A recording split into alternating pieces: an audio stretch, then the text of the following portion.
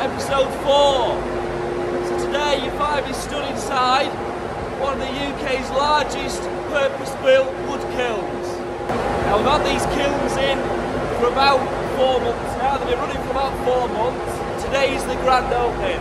So we're a little bit behind schedule, we're sort of in the wrong order really, but this is the earliest day we could do to get everybody here that we wanted for the opening.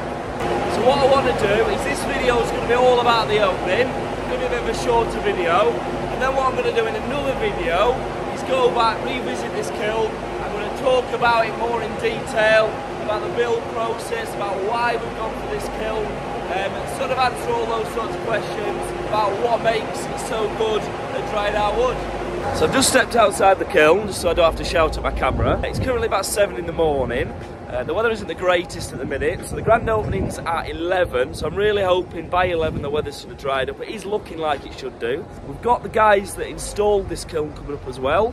Uh, the company's called Glen Farrow. Uh, they're going to do an interview with me as well, so I'm going to post a bit of that on here as well. And then we're just going to show the video of the opening. We've got the local MP politician coming.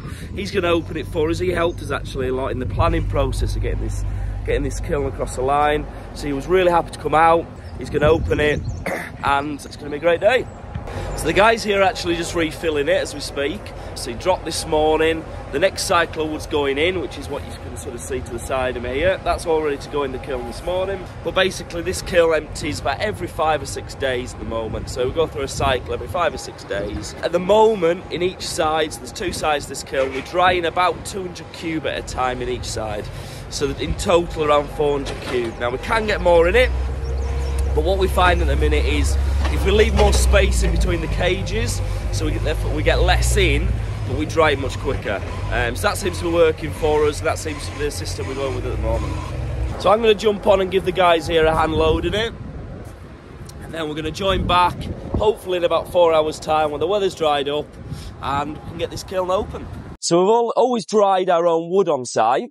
But over the over the years, as we've grown as a business, we've had to uh, dry a lot of wood off-site. In fact, at one point, we were drying 70% of our wood off-site, um, which is fine, but it incurred extra costs um, and all the logistics of that. The main goal of our business is to produce a really good quality product. We want to create an affordable product, but also the best quality product we can. And this kiln facilitates that.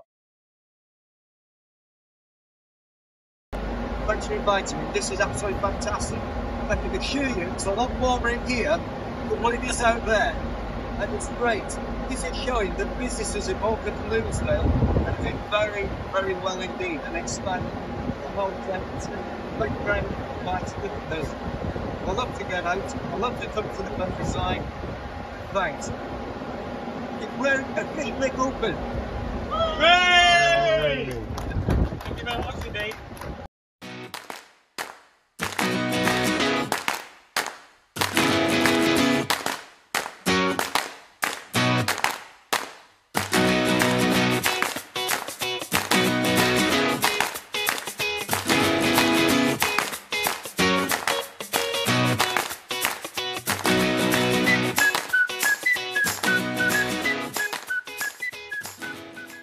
So our new kiln is officially open. Uh, thank you very much for watching this video. Now I've not really answered any questions on it, but I just wanted to get this video out there with the opening on it. But yeah, thank you very much for watching and we'll see you next time.